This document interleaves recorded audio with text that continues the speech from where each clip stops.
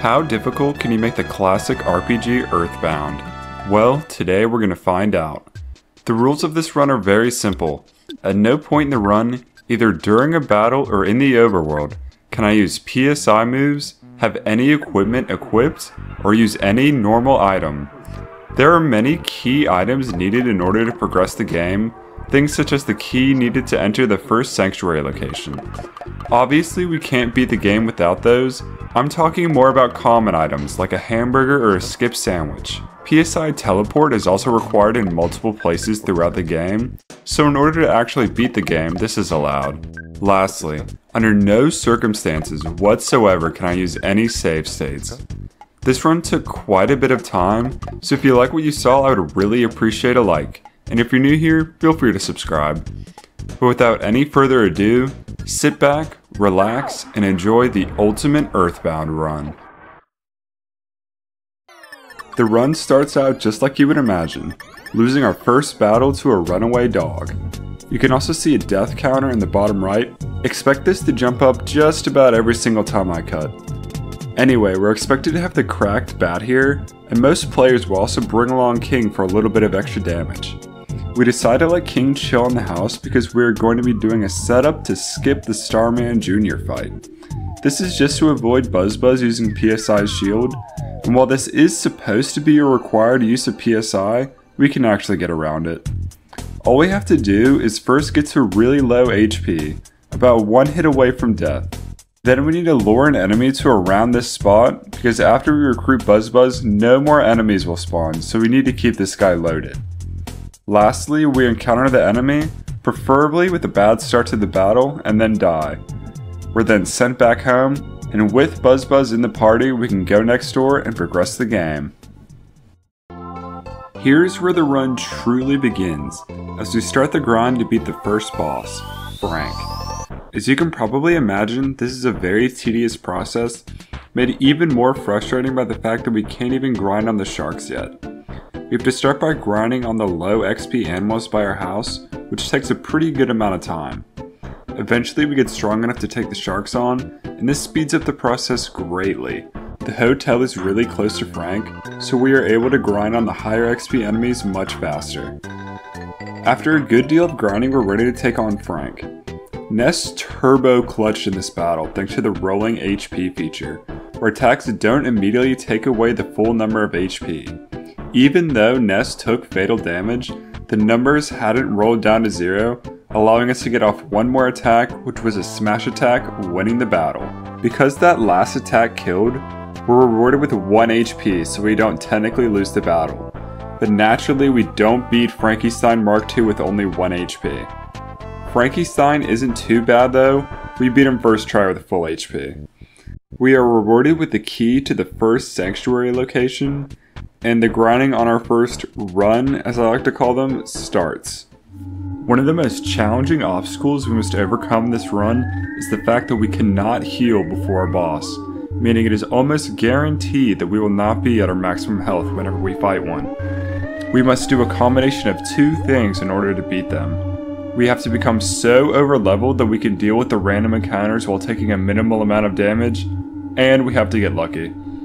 This was a pretty long run for this early in the game, and that made this a decently long grind, as a major factor contributing to how much health we have whenever we go against a boss is the distance between the nearest save point and that boss.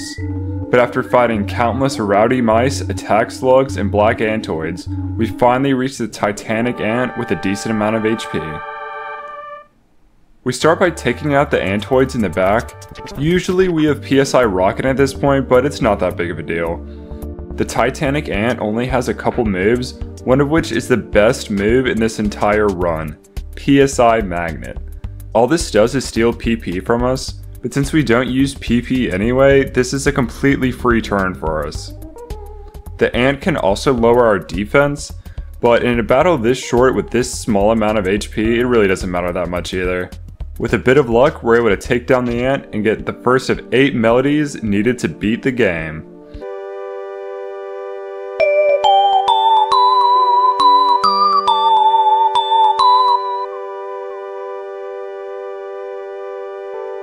The Sanctuary bosses also use the funny meme song, so that's always cool.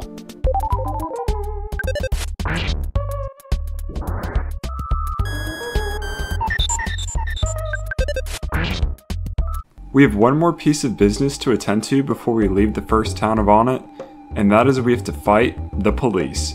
Because we were trespassing in the cave, Ness, a 13 year old boy, is jumped by five fully grown police officers. If you've never played Earthbound before, this game is crazy, and just you wait, we are only getting started. This is normally a rather difficult section because you have to fight all five officers back to back with no breaks in between to heal. This doesn't affect us at all though, because the challenge of not being able to heal is present throughout the entire game and not just here, so it's really no different than any other battle. Ness is already up to level 17 after all the grinding we did for the ant, so we're able to take down the cops on our first try. Ness turbo clutched here again, getting the same 1 HP victory we got against Frank against the final cop, Captain Strong. With the cops and Captain Strong being dealt with, we're now able to make it to the second town in the game, Twoson. Twoson is where we really need to start doing a lot of things to progress, and I'm going to try and get through them pretty quickly. I don't want this video to just be me beating bosses over and over and over again, but this is no walkthrough, so we're going to try and speed through things. We quickly talk to the Orange and Apple Kids, with Apple Kid allowing us to progress many times throughout this run. We then go over and take on Everdred, who's not too bad, he has two non-damaging attacks, so he's really no issue. We then sleep at a hotel and receive a message from a mysterious girl named Paula, who will very soon become the second member of our party. With that message, we can start the journey to Happy Happy Village, which is going to be a rather difficult one. This is the farthest run we've had to deal with by far, and the enemies we have to deal with are becoming a lot more difficult. The rambling evil mushroom can make us grow a mushroom out of our head, which makes our controls in the overworld all wonky. It's not the worst thing in the world, but it's pretty annoying, I can't lie. But the real danger here are the robots, as they can make us catch a cold. A cold in this run is basically a death sentence, as you take damage every turn in battle and take damage in the overworld. With no way to heal, it's basically a countdown to our death, so getting this early in a run stops it pretty quickly. After stopping back in Twoson and getting the pencil eraser item from the Apple Kid, we were able to make it all the way to Happy Happy Village. The village is one of many very memorable locations throughout the game, and we will spend a good amount of time here. First things first, we need to go find Paula, and she gives us the Franklin badge. This allows us to go back to the village and take on the cult leader. Did I tell you this game was crazy already? After fighting a bunch of, um, unique looking enemies, we start the fight with Carpainter. The Franklin badge that is required to start this fight also deflects the crashing boom bang attack, which deals damage to Carpainter. This seems way too much like using an item to me, and while I guess you could argue that it's a required part of the fight, I just reset until I beat him without him hitting me with the attack. This didn't take too long either. On my 6th attempt, I beat him at level 20. He's revealed to be under the influence of the evil Mani Mani statue. I hope that's the last time we have to deal with that this run. We are rewarded with the key to Paula's cell, and Paula officially becomes our second party member.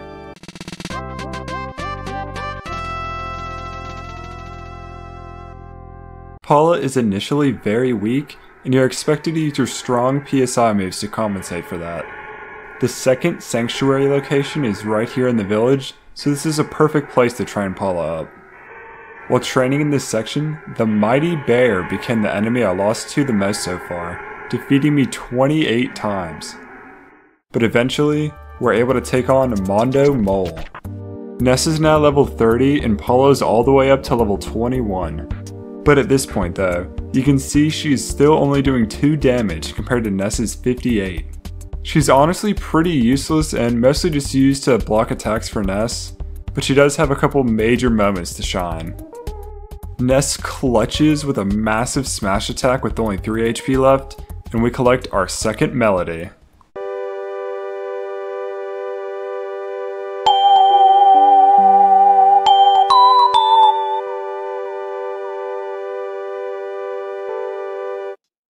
After returning to Twoson, we only have a few things left before we can go to the next town, Threed. Side note, I love the fact that they didn't even try with this town name, just adding a D at the end is perfect. Everdred gives us a wad of bills for rescuing Paula, and we use that to pay the debt of the Runaway 5 Jazz Band. We do this because the tunnel leading to the next town is full of ghosts, and that's just Earthbound at its finest.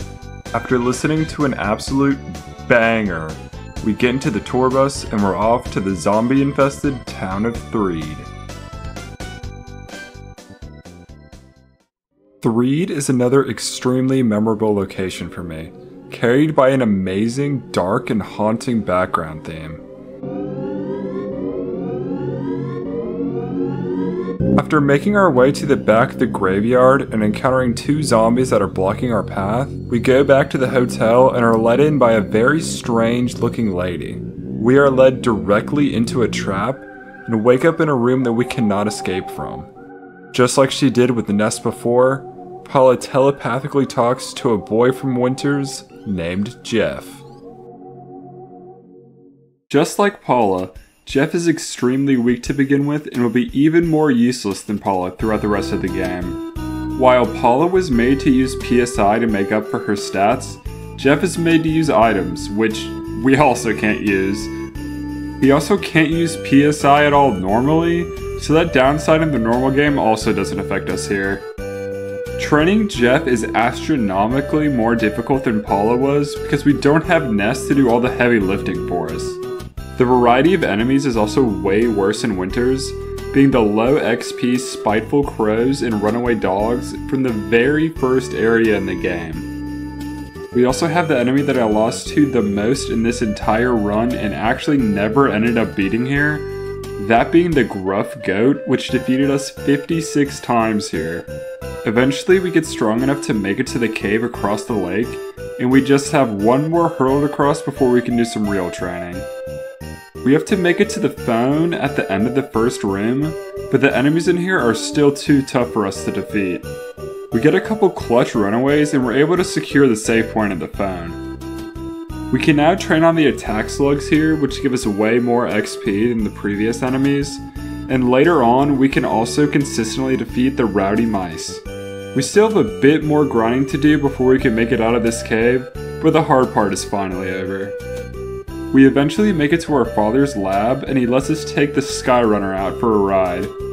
While we don't exactly make a smooth landing, we crash into the same room that Ness and Paula are trapped in. Jeff has a key item called the Bad Key Machine, and using this allows us to get free of the trap. We can finally escape and continue on our journey with three party members. Now that we have Jeff and Threed, we have a lot of work ahead of us before we can leave for the next town. First things first, we have to take care of the Boogey Tent. This battle isn't too bad, but the tent does have PSI Flash, a move that can make us cry, which lowers our accuracy greatly for the rest of the battle, so that's pretty annoying. But on the fourth attempt, we were able to take it down, so again, it's not really that bad. We collect the jar of fly honey, which will become very important later, and Applekid sends over his brand new invention. This is the zombie paper, and using this in the tent traps all the zombies in Threed, including the ones that were stopping us earlier. We will now begin the long run to the Saturn Valley, but this will be filled with a lot of very difficult enemies and even a boss. We can catch a cold, we can be made to cry, we can be poisoned, and we can even be possessed. There are many different status effects that can hit us during this run, so making it through with a good amount of HP is going to take some time. Side note here, some of you who've already played through this game might be wondering how we have enough money to constantly revive people this much. But the way we actually earn money is based on how much XP we gain. Because all we are doing is battling during these sections, our dad will always send us enough money to keep reviving party members. Also, it's not like we're buying items or equipment, so we save a pretty good amount of money there. Anyways, we eventually make it to the next boss, the Mini Barf. The main challenge in this fight was the run before it, but the Mini Barf does have a couple annoying moves. It can make all three of us cry at once, freeze party members for a turn, and even lower our stats. Paula and Jeff are still only doing 1 HP per attack, with Paula being level 25 here and Jeff being level 23. Ness is up to level 35, and he's able to carry us to victory on attempt number 5. We still have one more small stretch to go, and there's some pretty tough enemies here at the end. But we can do some spawning manipulation to get around them. This is a technique where you deload enemies as soon as they spawn by running out of range, and going back to the point until the enemy doesn't spawn there anymore. Some places are easier to do this in than others, and after a long run I'm fine using it here. And after one last roach infested tunnel, we finally make it to the Saturn Valley. The Saturn Valley might just be the most memorable location in this entire game, second maybe only to Onett. The goofy music and the way the Mr. Saturns talk screams Earthbound, and even earned them the honor of becoming an item in Smash. But right after the valley, we have one of the biggest Earthbound moments in the entire game. We have to go behind this waterfall and not touch the controller for three minutes straight. But you want to know how long you have to wait here? Three whole minutes. I'm dead serious. After making it in, we have one of the largest hurdles in this whole run, and the run before it isn't even that bad. The enemies outside are still pretty strong, and the slimy little piles can make us cry, but the fobbies are free XP and a great way to grind some levels, which we will desperately need for the next boss, Master Belch. If you've played through this game before, you probably remember your first time fighting Belch, and not just for his design. The way the Belch fight works is that any damage done to him will instantly be healed unless we use the jar of fly honey that we got from the Boogey Tent. After this, the fight is basically free, definitely one of the easiest in a normal playthrough. So this makes the jar of fly honey a required key item, right? Well, not exactly. After reading through a bunch of 15 year old game forums, I found that there's actually three different ways that you can beat Belch without the fly honey. The first way is using PSI Flash Beta, which actually has a 1 in 8 chance of instantly defeating any enemy, not just Belch.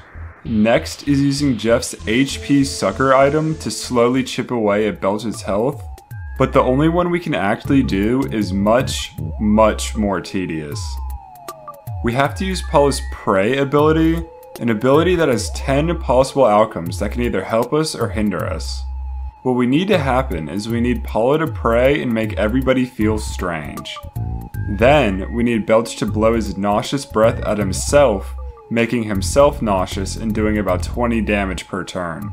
All we have to do from here is survive long enough for Belch's 650 HP to run out, and then we'll have beaten Master Belch without the fly honey.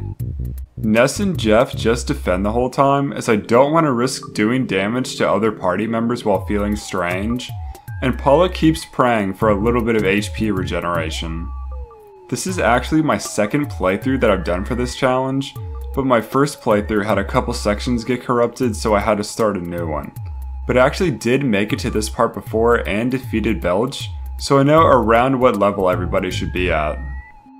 When we finally defeat him, Jeff's level has doubled to 46, Paula's up to 48, and Ness has climbed all the way to level 61. My first attempt took 91 tries, but luckily this one here only took 15. This battle took nearly 10 minutes to do, and was one of my biggest fears when starting this run again. But it's all over now, and we can move on. After defeating Belch, we can go and fight the third Sanctuary boss, the Trillionage Sprout, which is no easy fight. The Sprout has two major attacks that we have to look out for, one that can make a party member numb, and the other one can diamondize a party member. A numb party member can only be healed at a hospital in this challenge, so all you can do is wait to be taken out. And diamondizing a party member instantly defeats them, meaning if the last party member alive gets hit with either one of these attacks, we will instantly lose. I thought this fight would take way longer, honestly, and I can't believe we only defeated it in 5 tries. The Sprout does have our old friend PSI Magnet as an attack, and we get lucky here with the Sprout using it way more than normal. This was a very welcome change of pace after the hours spent trying to take down Belch, but with the Sprout defeated, we can collect our third melody and journey back to the town of Threed.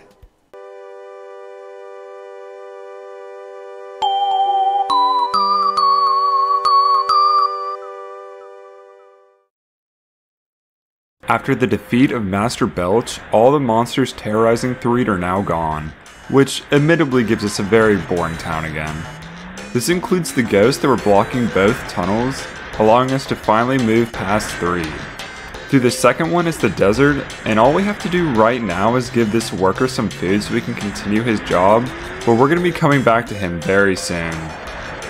We just have a little bit farther to walk, and after crossing the scenic bridge, we enter the big city of Fourside. Fourside has a whole lot for us to do, first of which is seeing the Minches. Our next door neighbor, Pokey, from the beginning of the game, and his father are living the life of luxury near the top of Monotoli Tower. We can talk to both of them, and all they really do is just flex their wealth on us and admit that they've never liked Ness or his family, and after getting an earful from both of them, we hop over to the Topola Theater to hear the Runaway Five perform another banger. After talking to their new manager, we find out that they are $1 million in debt, and they could really use our help. We are taunted to go find some buried treasure, but after a good night's rest at the hotel, we can return to the desert and see what the digging crew has found. And as it turns out, what they found is actually our next dungeon. Pretty convenient. We are told that they can't continue their work as there are five huge mole enemies lurking in the cave, so naturally we have to defeat them so the workers can keep going. But the moles are actually not the greatest challenge in this section, it's the enemies leading up to them which is going to give us the most amount of trouble. There are thirsty coil snakes and gigantic ants which can poison us, and the ants also have a paralyzed attack, so that's not very fun. In this run, you could consider being paralyzed and being numb the same thing, as there's nothing we can do except for go to a hospital. There's also an enemy in this cave called Noose Man. Here's what he looks like. Um, I really hate to say this. I think there's someone hanging right there. Mm. I'll take a quick second to remind you guys that this game is rated E for everyone. Well until the Wii U changed it to a T rating 18 years after the game came out, but that's a whole nother thing. Anyway, we start chipping away at the five bosses, all claiming to be the third strongest mole in the cave and giving us this pretty cool background. Again, they aren't too bad. We actually never ended up losing to one of these guys, we always got taken out by the enemies before them. With all five of them out of the way, we start heading back to Fourside and we're stopped by one of the workers from earlier. He gives us a fat diamond, and just like we did back in Twoson, we pay off the debt of the Runaway 5 and can immediately go to the next dungeon. One of the first things many players do when entering a new city is run straight to the department store, but you can't do that here in Fourside as a mysterious voice blocks you from entering. After paying off the debt of the Runaway 5, we can enter the department store, and you're probably wondering what we have to do here in this run. After paying off the debt of the Runaway 5, we can enter the department store, which we actually have to do in this run as weird as it sounds.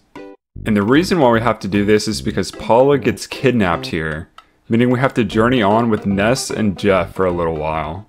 The store is now filled with two really strong enemies, the musical record and the musica.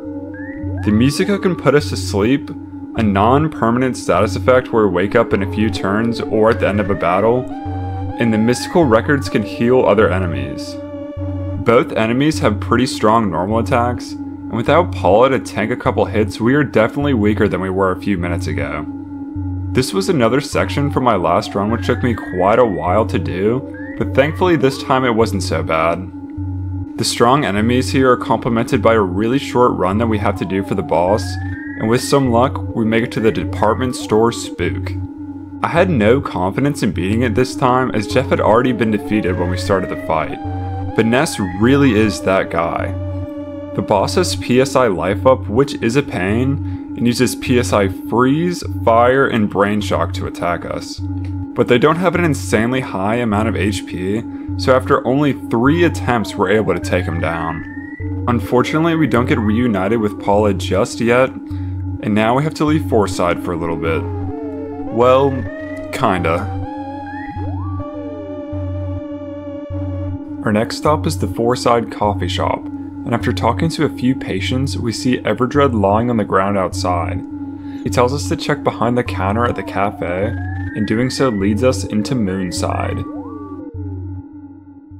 Moonside is a backward city, where yes is no, Kanye is bad, and paintings attack you. It's another short but very memorable area, and there's a very short run we have to do before the next boss, the evil Mani Mani. This is a very tough fight. The statue is PSI paralysis, and it can emit a glorious light, which has a 55% chance of instantly defeating a party member or paralyzing a party member. Jeff gets paralyzed here in the first turn, but even though Jeff is up to level 51, he's still only doing 1 damage per attack, so it's really not that big of a deal. It's much better for him to get paralyzed instead of instantly defeated, because he can still tank a few hits for Ness. The statue tried a handful of times to paralyze an already paralyzed Jeff, which does nothing, and we also got a few PSI magnets in there. We got super lucky here though, only needing 8 attempts, which is way less than it took in my last run and after winning the battle, we see a broken Mani Mani statue in the back of the coffee shop. I hope that's the last time we have to deal with that this run. Our next order of business is back in the desert, in a hole filled with monkeys. There are two monkeys each asking for a different item, and if you give it to them, they'll let you pass and you'll find two more monkeys. This section is rather tedious, and the cave can be simplified to look like this, and I'm using simplified kind of lightly here. But after a lot of trading and making it to the back of the cave, we meet a monk who promises to teach us a special power, and we also find a yogurt dispenser which we'll be using here in just a minute.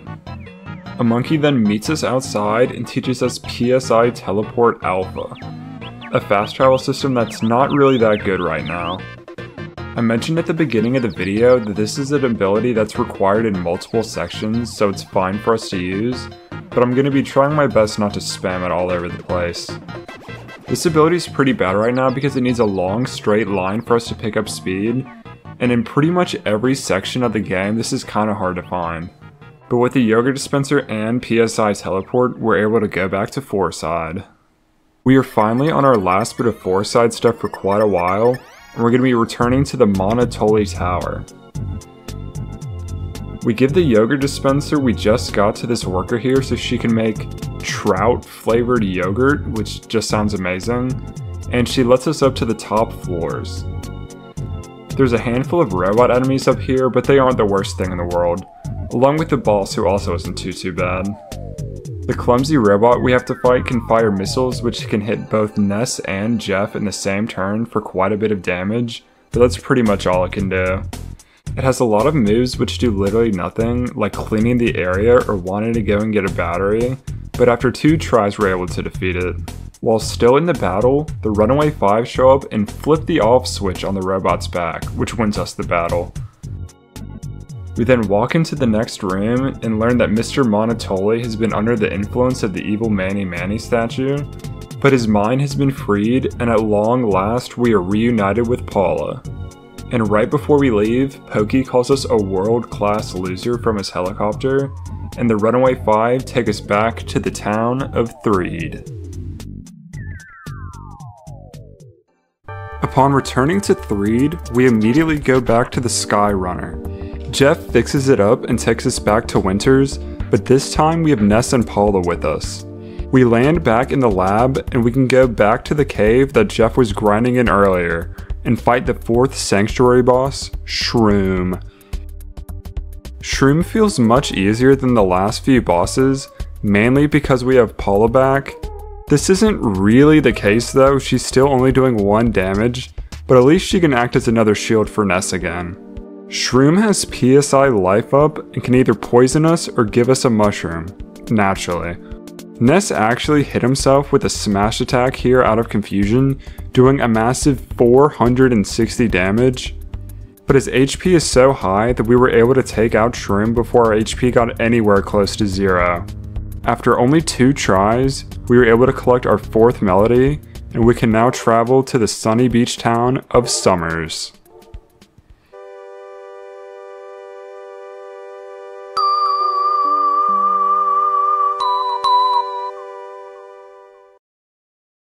Jeff's dad was working on the Skyrunner during our last fight, and it's now able to take us to Summers.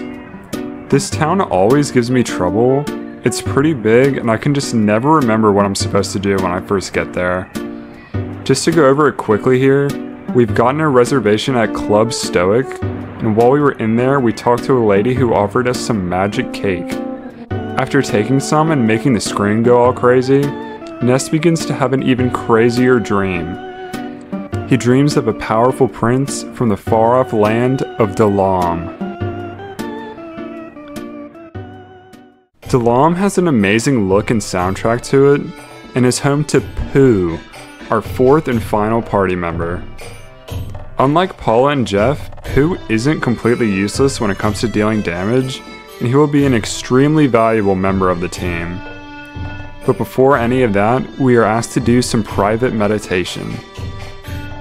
We are then treated to possibly the craziest fight in this entire game, or at least one of them.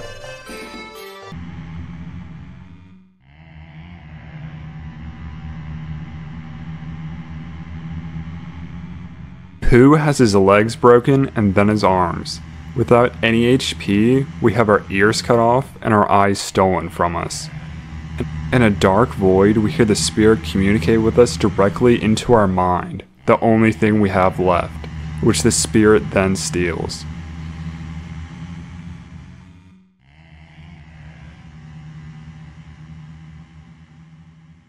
But after that's over, we return to the palace and receive a few levels, then teleport to Summers, officially joining the team, already at level 18. Poo comes to us with a tiny ruby on him. This lets us get past the man on the top floor of the museum. Poo can decipher the hieroglyphics for us on this stone tablet, and on our way out, we pick up the phone to hear the Fourside Museum. Something amazing is happening there, and they want someone to come see it. We can teleport back to Fourside really easily from Summers, as this road was practically made for teleporting. Back in the Fourside Museum, we can already go to the 5th Sanctuary location. Poo is still extremely underleveled, but this is a perfect spot to train him up. Poo is perfect for this type of challenge, with his gimmick being that he can't normally equip items except for a very specific few that are very difficult to attain. He has strong normal attacks, and he's the only character that we'll be using in this challenge the same way that most people do, at least for the most part. Eventually we make it to the Plague Rat of Doom, and we have another crazy lucky fight here. Poo is up to level 35, but his attacks are still only doing 1 damage. Throughout the course of this fight though, we land 7 smash attacks, 4 of them coming from Ness, who's up to level 71. The rat took a few tries, but we were still in the process of training up Poo, so I'm fine with it only taking 9 attempts. We go up this ladder here to receive the Carrot Key, and we're also rewarded with our 5th melody.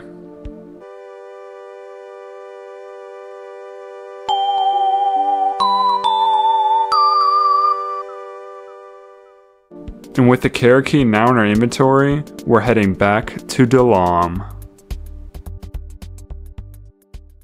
Dalaam holds the next sanctuary location, and again we can immediately go and get it. There are three rabbit statues outside this cave that used to be blocking our path, but the Carrot Key allows us to go inside. There's a relatively short run here, but the enemies are a huge pain. And pretty weird, but that's kinda expected at this point. The Tengu can put you to sleep or poison you. The Thundermites have PSI Thunder, naturally. The Conducting Menaces have PSI Thunder and Flash, both of which can instantly take out a party member. And finally, the Kiss of Death, a giant pair of floating lips which can also poison us. All the possible status conditions made getting a good start on the boss rather difficult, meaning most attempts were doomed right from the start. But after a while, we finally have a good start against the boss, Thunder and Storm. First things first, for some reason, Thunder and Storm use the music of the next boss and not the normal Sanctuary meme song. I have no idea why, but it does kinda slap though.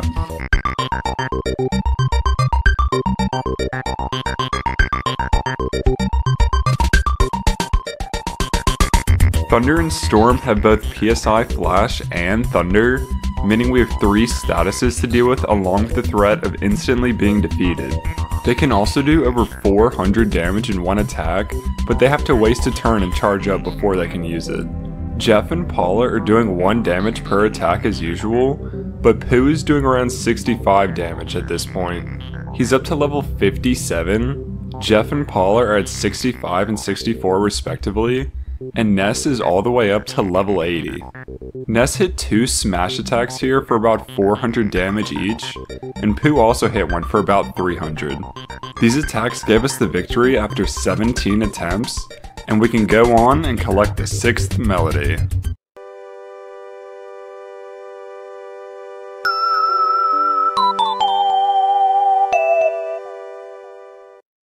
Unfortunately though, that's all we have to do here in Dalaam, and we're heading back to Summers. We don't stay in Summers long though, we actually leave as soon as we get back here. We are now able to cross the sea over to Scaraba, but we have to fight a Kraken on the way. This is the boss fight that Thunder and Storm were taking the music from, again, no idea why. Second, we got extremely lucky here. On the first turn, Paula started feeling strange and everyone else started crying. The Kraken can also use PSI Fire to hurt everyone at once, and PSI Thunder just for good measure. Paula attacked Ness twice out of confusion here, doing 221 total damage.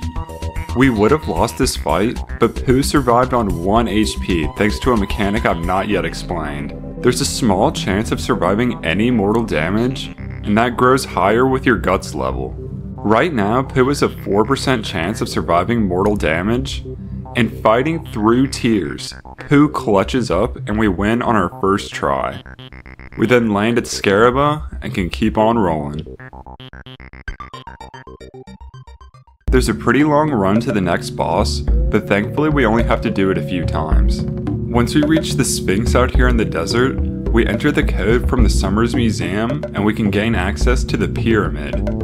Enemies in here can poison us or give us a cold, so making it all the way to the boss should have been a lot more difficult than it ended up being. After making it all the way to the end with a decent amount of HP, we face the Guardian General.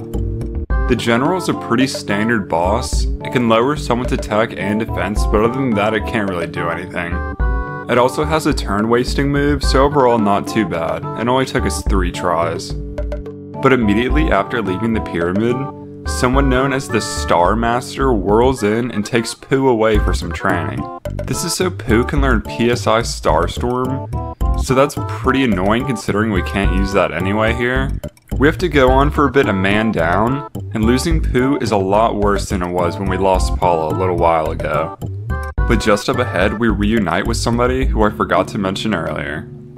This is Brick Road, the man who made the maze that Jeff trained in when we first unlocked him. He's turned himself into Dungeon Man, a full on sentient dungeon with a very interesting soundtrack.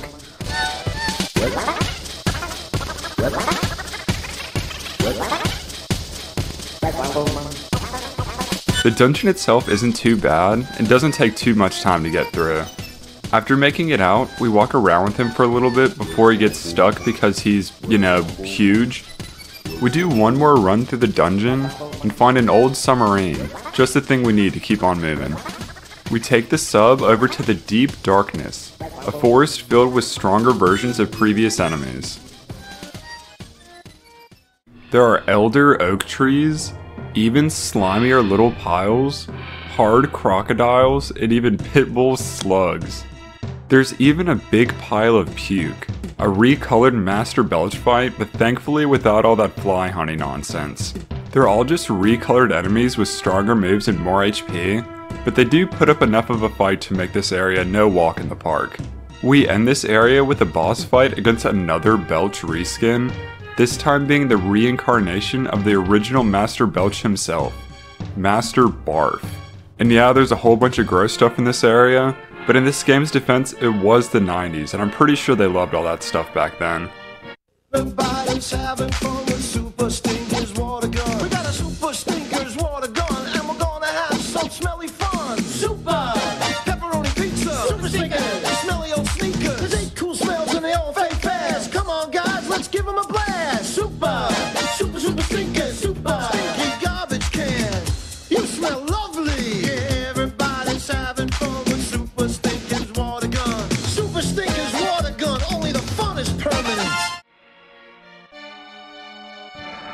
Thankfully, Barf doesn't have any of that fly honey shenanigans either, so we can fight him just like normal. He has the same moves, he can make us nauseous or make all three of us cry, but not relying on praying makes this fight so much easier. On our fourth attempt at the end of the battle, Poo comes in and uses PSI Starstorm to finish the fight. This is a scripted use of PSI that we cannot get around, and it's more of something that just kinda happens instead of us choosing to use the move, so it's fine. We just have a little more to go until we find a cave filled with strange little creatures completely overcome with shyness. You can't blame these little guys, honestly. They just don't know how to talk to people. We are tasked with finding a special book to help overcome shyness, which, side note, would definitely be a like New York Times bestseller if it was real. After getting this mission, we leave the cave and hear from our old friends, the Orange and Apple Kids. Apple Kid has been working on an eraser eraser machine to go with his pencil eraser machine, of course, but something happens to him while we're on the phone. We then hear from Orange Kid, who interrupts his work of turning a boiled egg back into a raw egg.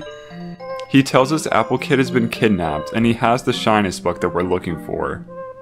The last place he was seen is the lab in Winters, so that's where we're headed now. You might have seen earlier that there's a mini Stonehenge outside the lab, and in the middle of it there's a hole that leads to the next dungeon. In the lab, Apple Kid's mouse gives us the eraser eraser machine, which allows us to progress through the dungeon. This is one of, if not the longest runs in the entire game, and naturally the enemies here are a real pain to deal with. There are many enemies here who can hurt every party member with a single attack, slowly chipping away at everybody's health, including the atomic powered robot, which is guaranteed to explode and hurt everybody once it's defeated. We can also be diamondized by the mooks, which is always a fun addition to a run. This is all pretty annoying, but again the main difficulty here is just how long the run is, so surviving all the way till the end with a decent amount of HP is a pretty big pain. Eventually when we do make it to the next boss, the Starman Deluxe, Ness and Poo are the only ones who made it there, and neither one of them are at their max health.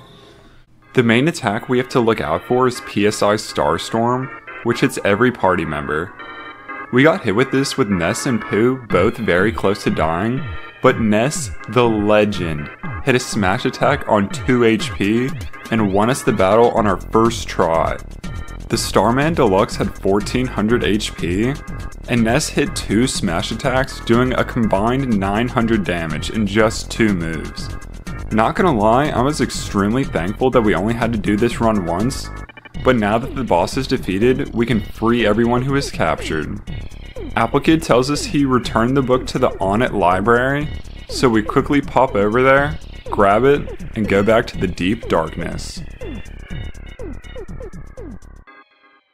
After giving over the book to overcome shyness and having that life changing information share with everybody, we can talk to this little guy who moves a stone that was previously blocking our path. There are a few stronger versions of previous enemies here again, including the Fobbies. They're still free XP and a pretty good source of it too, but here they come with this really cool unique background for no real reason. We also have to deal with a stronger version of the conducting menace from Dalaam here, but overall this area isn't too bad. Not too far into the cave though, we find our 7th Sanctuary Guardian, the Electro Spectre. For some reason, the Kraken fight music is playing here again, despite the fact that the Spectre is also a Sanctuary Guardian, so I, I really don't know what's going on here. The Spectre has two useless moves for us here, removing a shield from a party member, and removing all PSI effects from battle. That's pretty nice considering that's half of its moveset. Ness is level 91 here with over 700 HP, and Poo is not too far behind him damage wise at level 71. We also got the Spectre on our first try, and after reading the wall in this cool looking room here, we collect our 7th melody.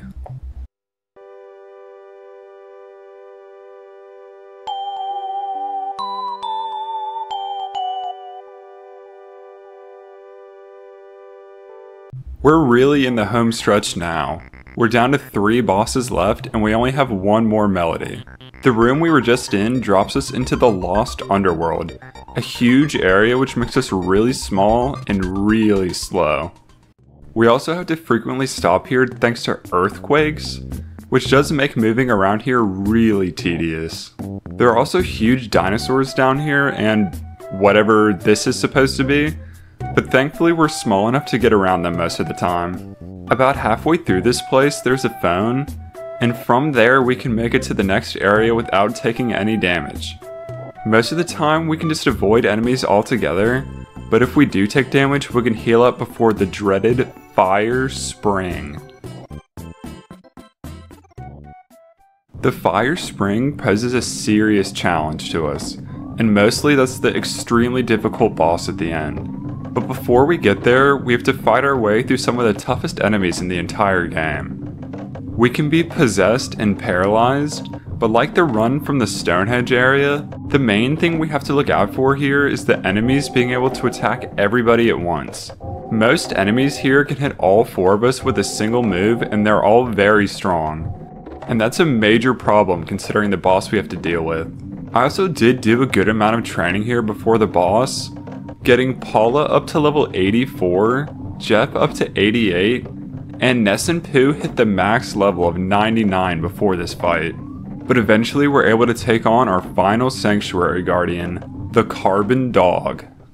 The Carbon Dog has 1700 HP and can hit everybody in the party with a single, pretty strong attack. Paula and Jeff are finally doing more than one damage per attack here, and Poo is actually doing more damage than Ness, so that's pretty cool. Ness and Poo can do about one third of Carbon Dog's health with a single smash attack, so you're probably wondering what makes this boss so difficult. Well, let me introduce you to the second phase, the Diamond Dog. Diamond Dog has a staggering 3,344 HP and some pretty devastating attacks. When the fight starts, the dog has a shield, which halves the damage it takes and reflects it back on us. This lasts for 3 turns, and the dog can put up the shield at any point throughout the fight. Naturally, we can be diamondized, and the dog can emit a glorious light, which, just in case you forgot, can either make us cry, feel strange, paralyze us, or instantly defeat us. Our only saving grace in this fight is the dog can howl, which does literally nothing, and gives us a couple turns of free hits. We had an alright start after defeating Carbon Dog, and the team managed to get off 6 smash attacks for over 2100 damage alone. Luck was definitely on our side here, and after only 5 tries we're able to come out with a W. We can collect our 8th and final melody, and now that we have all 8 of them, we can finally hear the song in full.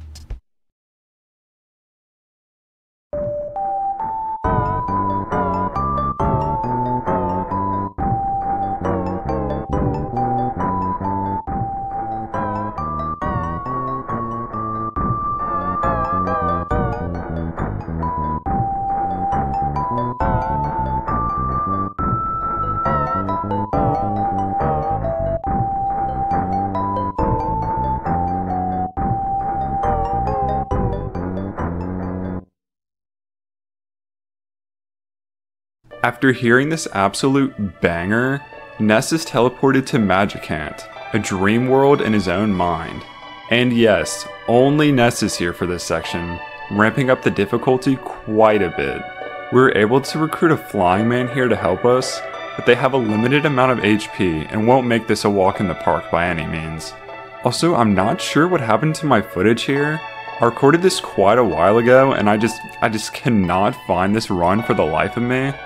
It's not super important though. There are tough enemies here, and the boss room has three Krakens in it, but they don't respawn, so we take those out one by one. But eventually, we hit the penultimate boss, Ness's Nightmare. This is where I stopped my last run, and going into this fight, I wasn't even sure if it was possible under these circumstances.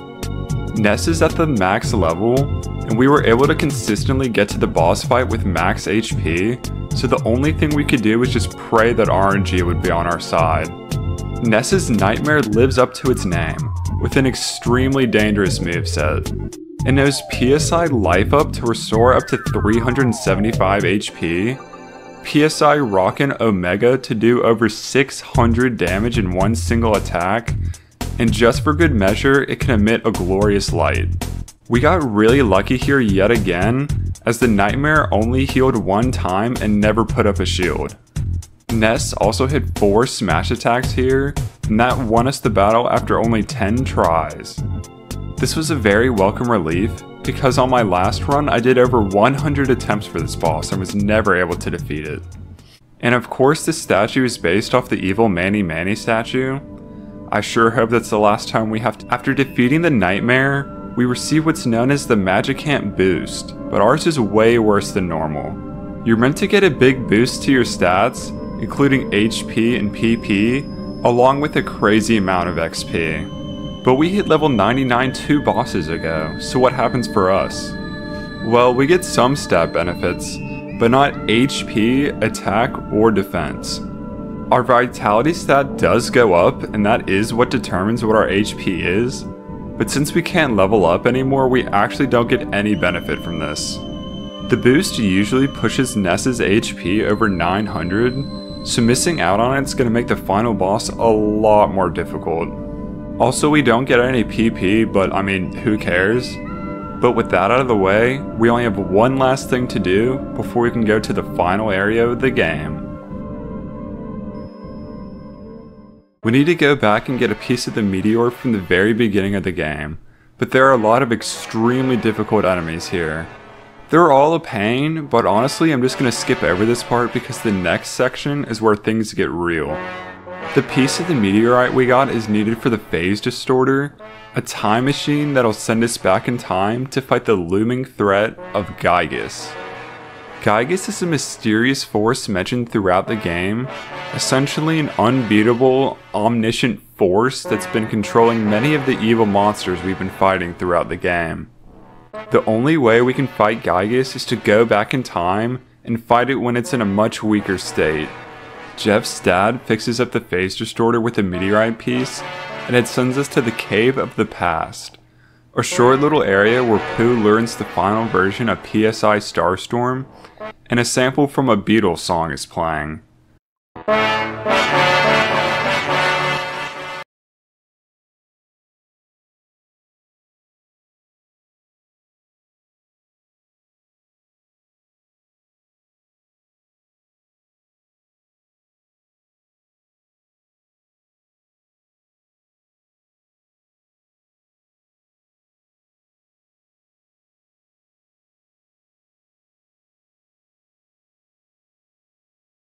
Into robots so we can safely go back in time.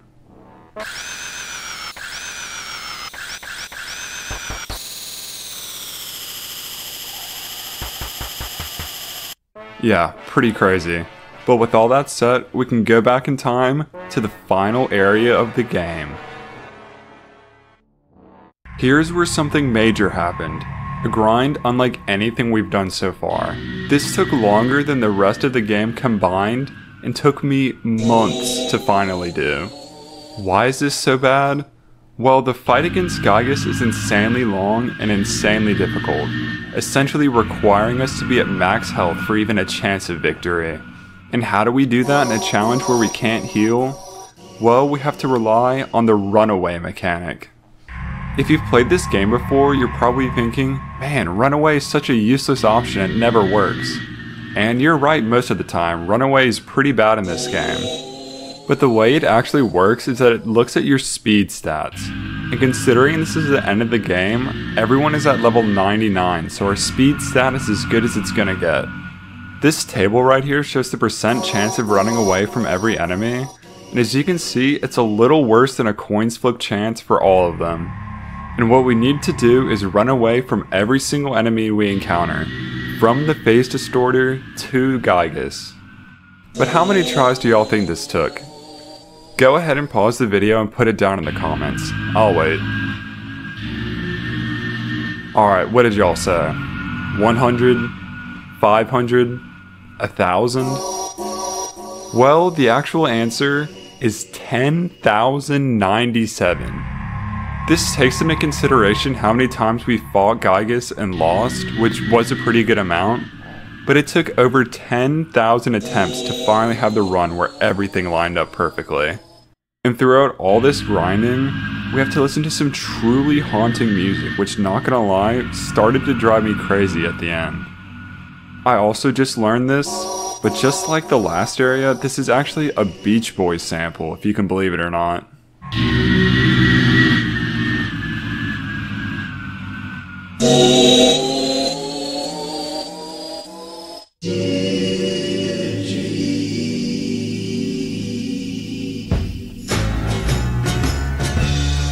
But after literal months of nothing but grinding, eventually we make it to Giygas' lair. We go down what appears to be intestines or organs or innards of some kind, and reach the Devil's Machine, where we see Pokey one last time. He's been led here throughout the course of the game by Giygas, and here in the past, he puts up his dukes and fights alongside Giygas. In the first phase, Giygas can only use PSI Rockin', which damages everybody in the party and proved fatal many times. He can't take any damage yet, so we have to take out Pokey. Pokey is a real pain, with his worst move being a stinky gas which will lower everybody's attack or defense substantially for the rest of the battle. This phase needs to be done quickly as these stat lowering attacks can really add up and screw us up later. I'm also back to the strategy of praying with Paula, hoping for some slight HP recovery or even a revive if we're lucky. She is required to win the fight, so if she dies early, it's all over. Eventually we make it to the second phase and we're in pretty rough shape. Jeff is already down and Paula and Poo are not doing well HP wise. During this phase, Paula revived us three separate times, truly putting the team on her back. Giygas does know PSI flashed during this phase, but the healing and revives made this phase possible. Just very stressful and took a long time. Eventually, though, we make it to the final phase, the praying phase. All that can damage Giygas now is Paula's prayer, as she calls out to everybody we meet in the future. After a few turns of praying, Giygas turns into this, and even my recording software starts to take some damage. Even I, Hammer, the player, start praying and doing damage. And with one last 22,000 damage prayer, I, as the player, defeat Giygas and complete the ultimate Earthbound run.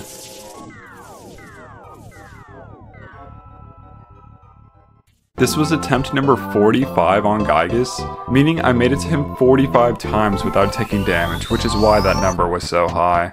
But with that, we complete the run with 655 total deaths. This project took me quite a long time to complete as well as edit, so I'd really appreciate a like and a subscription if you made it this far and you liked what you saw.